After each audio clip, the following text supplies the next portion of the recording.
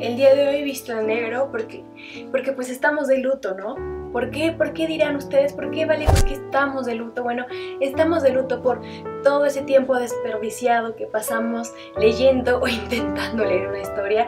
Estamos de luto por esos árboles que murieron para que ciertos libros se imprimieran. Estamos de luto por, por esa tinta gastada en cada palabra. Es broma, es broma, es broma. Solamente quería darle un poco de emoción a esto, pero no pude aguantar la risa. Porque como ustedes lo están leyendo en el título del video, hoy les traigo mi top de peores lecturas del año 2017. Ahora, Igual que en el libro pasado, en el libro, igual que en el video pasado no les puedo traer un top 10 si leí 25 libros. Imagínense, si les trajera un top 10 de mejores libros y top 10 de peores libros, entonces tendría 20 libros y 5 que hubieran sido me. Entonces les traje 5 buenos libros que están en el video pasado y les traigo solamente 3 peores lecturas porque siento que las demás no son tan tan malas, simplemente pues son me. ¿Saben? Entonces, pues para no perder más tiempo, vamos a empezar con el video. La posición número 3 tengo de Jessica Noll, la chica que lo tenía todo. Este libro, la verdad es que sí tiene varios post-its, no les voy a mentir. Y porque a lo mejor me dicen, ay, pues lo odiaste, pero pues tiene muchos post-its, ¿no?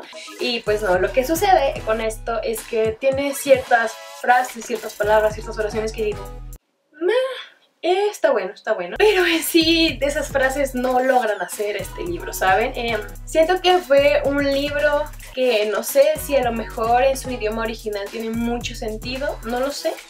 Pero al menos a mí, a mí Valeria, pues en lo personal, se me hizo muy revoltoso, muy que quería acaparar demasiado, demasiado, demasiado y como que no supieron cómo terminar de acaparar absolutamente todos esos temas en concreto la...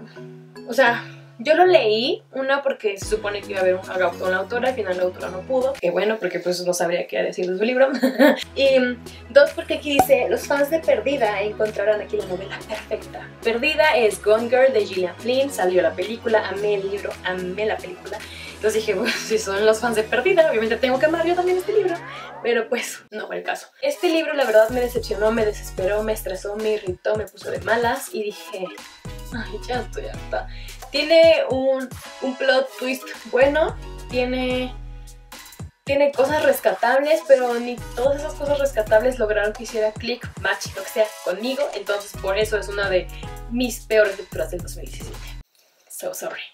en el número 2 tenemos un muy pequeño, pero pequeño, pequeñísimo libro de una autora que jamás pensé que pondría en mi top de peores lecturas de ningún año, porque tiene un libro muy exageradamente bueno. Tiene un libro que es me, y bueno, pues yo creo que este tercero dijo, pues ya tengo uno bueno, ya tengo uno X, ahora necesito uno malo, y hablo de Guerra de Jane Teller. Bueno, digo pequeño, la de literalmente pequeño, vean su tamaño, vean su tamaño. Y pues si lo vemos por dentro, realmente también no tiene la gran ciencia, ¿no? Malditos perros, como siempre arruinaron la vida. ¿Por qué vale? ¿Por qué Guerra? ¿Por qué Jane Teller en tu top de peores lecturas del año? Yo les voy a explicar por qué. Fue un libro muy corto, como les digo, que para empezar leímos para rellenar un hueco de una reunión pendiente en nuestro círculo de lectura, ¿no? Dijimos, estamos un hueco pequeño, tenemos una semana para leer, no todos tenemos tiempo, ¿qué hacemos? Guerra de Jane Teller, está barato, es pequeño, a darle. Y es Jane Teller, que puede salir mal, ¿no? Pues salió mal todo. Resulta que es un libro que se ha traducido a varios idiomas, que se ha adaptado a varias situaciones de cada uno de los países o ciudades a donde se ha adaptado el idioma del libro. Habla en primera persona y mm, pues digamos que inicia intentando adentrarte dentro del personaje, ¿no? Empieza como, imagínate que estás, no sé, no, no, les voy a decir lo que pasa literal por si tienen ganas de leerlo, pero es como si yo les digo, cierra los ojos, imagínate que estás en la selva y que nos aparece un chango y el chango te avienta una banana y de repente tú te empiezas a meter, ¿no? Y te empiezas a angustiar porque te estás metiendo dentro del personaje. Eso es lo que se suponía que tenía que pasar con Guerra de Jane Teller, ¿no?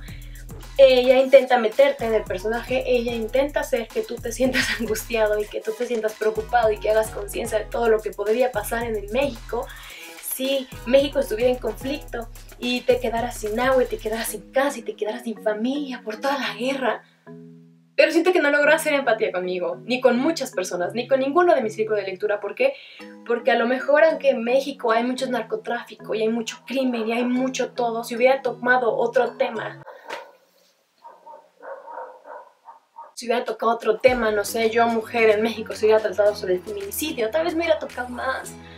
Pero yo como tal no he vivido una guerra, yo como tal no pude identificarme y lo intenté, intenté meterme dentro del personaje, pero no pude. No pude, sé que hay lugares muy cañones donde sí ha habido guerras y siguen en conflicto y donde se tradujo el idioma para que la gente lo entendiera, ese, ese, ese se traspasó el contexto y que hay gente que sí le ha pegado mucho el libro. Pero aquí al menos a todos los que están en mi ciclo de lectura y a mí no nos pegó por lo que les cuento. Entonces fue un libro que fue un desperdicio de mí para todos, lo siento, esa es la verdad. Llámeme insensible, pero esa es la verdad. Por eso está en el número 2 de mi top de peores lecturas de este año y estoy odiando a los perros que están ladrando. Y bueno, bueno, bueno, bueno, estoy, estoy dando vueltas en círculos porque tengo miedo de decirles el número 1 de mi top de peores lecturas del año pasado. ¿Por qué tengo miedo? Porque, porque este libro tiene tres autores. Este libro fue muy esperado por muchas personas. Este libro de los tres autores he leído a los tres ahora.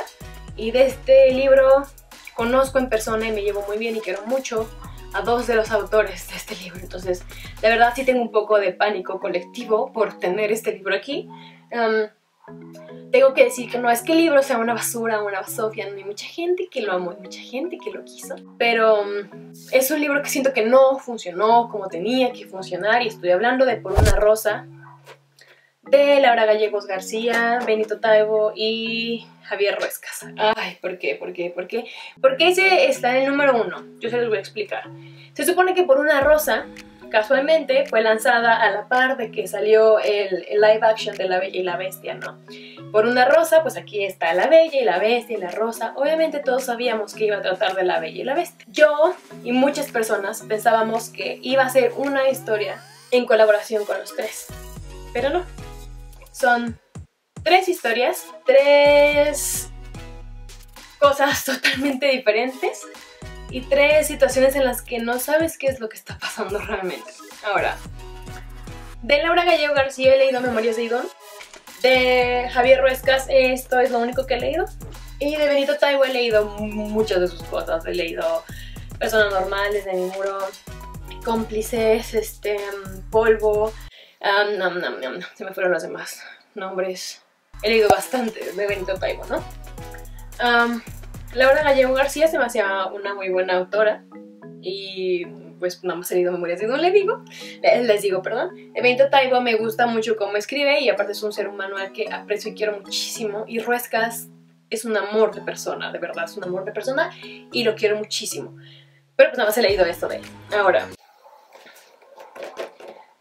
cuando yo les digo que se supone que tendría que haber sido un libro en el que se supone que cada historia está basada en La Bella y la Bestia, pues uno se imagina que a lo mejor cambian ciertos detalles de la historia, o hay un final alterno, o un inicio alterno, o un intermedio alterno, o se agregan personajes, o tal vez lo pasan como a la época actual, o lo trasladan al Medio Oriente, no sé, infinidad de cuestiones que tal vez se pudieran haber hecho.